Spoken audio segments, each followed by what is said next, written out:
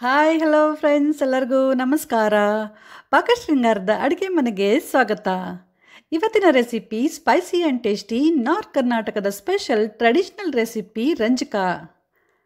ಕೆಂಪು ಹಣ್ಣು ಮೆಣಸಿನ್ಕಾಯಿಂದ ಮಾಡೋಂಥ ವಿಶೇಷವಾದ ಚಟ್ನಿ. ಈ ರಂಜಕ ಎಂಟರಿಂದ ಹತ್ತು ತಿಂಗಳವರೆಗೆ ಹಾಳಾಗಲ್ಲ.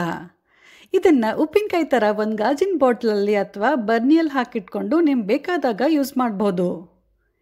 ಈ ರಂಜಕ, ಜೋಳದ ರೊಟ್ಟಿ, ಚಪಾತಿ, ಅನ್ನ, ದೋಸೆ, ಇಡ್ಲಿ ಜೊತೆ ತಿನ್ನೋಕ್ಕೆ ತುಂಬಾ ಚೆನ್ನಾಗಿರುತ್ತೆ. ತುಂಬ ಜನ ರಂಜಕ ರೆಸಿಪಿನ ರಿಕ್ವೆಸ್ಟ್ ಮಾಡಿದರು, ಆದರೆ ನನಗೆ ಈ ರೆಸಿಪಿನ ಶೇರ್ ಮಾಡೋಕ್ಕಾಗಿರಲಿಲ್ಲ. ಯಾಕಂದರೆ ಈ ರೆಸಿಪಿಗೆ ಬೇಕಾಗುವ ಮುಖ್ಯ ಸಾಮಗ್ರಿ ಅಂದರೆ ಕೆಂಪು ಮೆಣಸಿನ್ಕಾಯಿ, ಅದು ನನಗಿಲ್ಲಿ ಮಣಿಪಾಲಲ್ಲಿ ಸಿಗ್ತಾ ಇರಲಿಲ್ಲ. ಅದಕ್ಕೆ ನಮ್ಮಮ್ಮ ನಮ್ಮ ಊರಿನಿಂದ ನಿಮ್ಮೆಲ್ರಿಗೋಸ್ಕರ ಈ ವಿಡಿಯೋನ ಶೇರ್ ಮಾಡಿದ್ದಾರೆ. ವಿಡಿಯೋನ ಸ್ಟಾರ್ಟ್ ಮಾಡೋಕ್ಕಿಂತ ಮುಂಚೆ ನಿಮ್ಮ ಹತ್ರ ಸಾರಿ ಕೇಳ್ತೀನಿ ಫ್ರೆಂಡ್ಸ್ ವಿಡಿಯೋ ಕ್ವಾಲಿಟಿ ಅಷ್ಟು ಚೆನ್ನಾಗಿಲ್ಲ. ಆದರೆ ರೆಸಿಪಿ ಮಾತ್ರ ನಿಮ್ಮೆಲ್ರಿಗೂ ಖಂಡಿತ ಇಷ್ಟ ಆಗುತ್ತೆ. ತುಂಬ ಹಳೆಯ ನಮ್ಮ ಅಜ್ಜಿ ಕಾಲದ ರೆಸಿಪಿ ಇದು. ಹಾಗಾಗಿ ಈ ವಿಡಿಯೋನ ನೀವು ಸ್ಕಿಪ್ ಮಾಡದೆ ಕೊನೆವರೆಗೂ ನೋಡಿದ್ರೆ ನಿಮಗೆ ಹೆಲ್ಪ್ ಆಗುತ್ತೆ. ವಿಡಿಯೋ ಇಷ್ಟ ಆದರೆ ಲೈಕ್ ಶೇರ್ ಮತ್ತು ಕಮೆಂಟ್ ಮಾಡೋದನ್ನು ಮಾತ್ರ ಖಂಡಿತ ಮರಿಬೇಡಿ. ರಂಜಕ ಮಾಡಲು ಏನೆಲ್ಲ ಸಾಮಗ್ರಿ ಬೇಕು ಅಂತ ನೋಡೋಣ. ಕೆಂಪು ಹಣ್ಣಾಗಿರುವಂಥ ಬ್ಯಾಡಗಿ ಮೆಣಸಿನ್ಕಾಯಿ. ಫ್ರೆಂಡ್ಸ್ ಈ ರೆಸಿಪಿಗೆ ಹಣ್ಣಾಗಿರುವಂಥ ಕೆಂಪು ಮೆಣಸಿನ್ಕಾಯಿನೇ ಬೇಕು, ಒಣ ಮೆಣಸಿನ್ಕಾಯಿನ ಯೂಸ್ ಮಾಡಬಾರ್ದು. ಮತ್ತು ಇನ್ನೊಂದು ವಿಷಯ ನೀವು ಇಲ್ಲಿ ಗಮನದಲ್ಲಿಡಬೇಕಂದ್ರೆ ಆದಷ್ಟು ತುಂಬ ಖಾರ ಕಡಿಮೆ ಇರುವ ಮೆಣಸಿನ್ಕಾಯಿನ ಆರಿಸಿ ತಗೊಳ್ಳಿ. ನಂತರ ಮೆಂತ್ಯ, ರುಚಿಗೆ ತಕ್ಕಷ್ಟು ಉಪ್ಪು, ಇಂಗು, ಸಕ್ಕರೆ ಮತ್ತು ನಿಂಬೆ ರಸ. ಸಕ್ಕರೆ ಬದಲು ನೀವು ಬೆಲ್ಲ ಬೇಕಿದ್ದರೆ ಹಾಕ್ಬೋದು. ಬೆಲ್ಲ ಹಾಕಿದರೆ ರಂಜಕದ ಕಲರು ಚೇಂಜ್ ಆಗುತ್ತೆ. ಸಕ್ಕರೆ ಹಾಕಿದರೆ ಇದೇ ರೀತಿ ಕೆಂಪಿರುತ್ತೆ ಸೊ ನಿಮ್ಗೆ ಯಾವ್ದು ಇಷ್ಟ ಅಂತ ನೀವು ನೋಡಿಕೊಂಡು ಹಾಕ್ಕೋಬೋದು ಮತ್ತು ಫ್ರೆಂಡ್ಸ್ ಈ ರೆಸಿಪಿಗೆ ಬೇಕಾಗುವ ಎಲ್ಲ ಸಾಮಗ್ರಿಗಳು ಮತ್ತು ಅದರ ಅಳತೆ ನಾನು ಡಿಸ್ಕ್ರಿಪ್ಷನ್ ಬಾಕ್ಸಲ್ಲಿ ಹಾಕಿದ್ದೀನಿ. ಪ್ಲೀಸ್ ಚೆಕ್ ಮಾಡಿ.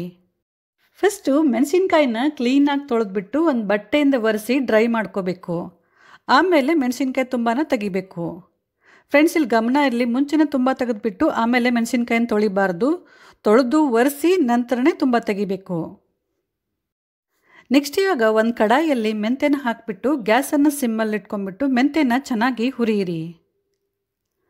ಮೆಂತೆ ಚೆನ್ನಾಗಿ ಹುರಿದ ಮೇಲೆ ಗ್ಯಾಸ್ ಆಫ್ ಮಾಡಿ ನಂತರ ಹಿಂಗೆ ಹಾಕಿಬಿಟ್ಟು ಸ್ವಲ್ಪ ಹೊತ್ತು ಕೈಯಾಡಿಸಿ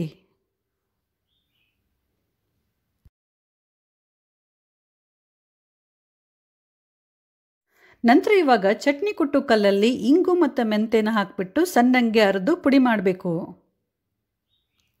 ಫ್ರೆಂಡ್ಸ್ ಇಲ್ಲಿ ಅಮ್ಮ ರಂಜ್ಕಾನ ಚಟ್ನಿ ಕುಟ್ಟು ಕಲ್ಲಲ್ಲಿ ಮಾಡ್ತಾ ಇದ್ದಾರೆ. ನೀವು ಬೇಕಿದ್ರೆ ಮಿಕ್ಸಿಯಲ್ಲಿ ಕೂಡ ಮಾಡ್ಕೋಬೋದು. ನೆಕ್ಸ್ಟ್ ಇವಾಗ ಹಣ್ಣು ಮೆಣಸಿನ್ಕಾಯಿ ಹಾಕಿ.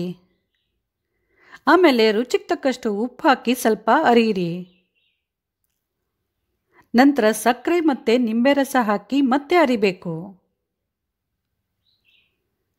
ನಿಂಬೆಹಣ್ಣನ್ನು ಚೆನ್ನಾಗಿ ಹಿಂಡ್ಬಿಟ್ಟು ಬೀಜ ತೆಗೆದು ಹಾಕಬೇಕು. ಫ್ರೆಂಡ್ಸ್, ಈ ರಂಜಕನ ನಿಂಬೆ ರಸದಲ್ಲೇ ಕುಟ್ಟಬೇಕು ಸ್ವಲ್ಪ ಕೂಡ ನೀರಿರಬಾರ್ದು. ನೀರಿದ್ದರೆ ರಂಜಕ ಬೇಗನೆ ಹಾಳಾಗುತ್ತೆ. ಸಕ್ಕರೆ, ಉಪ್ಪು, ನಿಂಬೆ ರಸ ಇರೋದ್ರಿಂದ ಚಟ್ನಿ ಆರಾಮಾಗಿ ಪೇಸ್ಟ್ ಆಗುತ್ತೆ.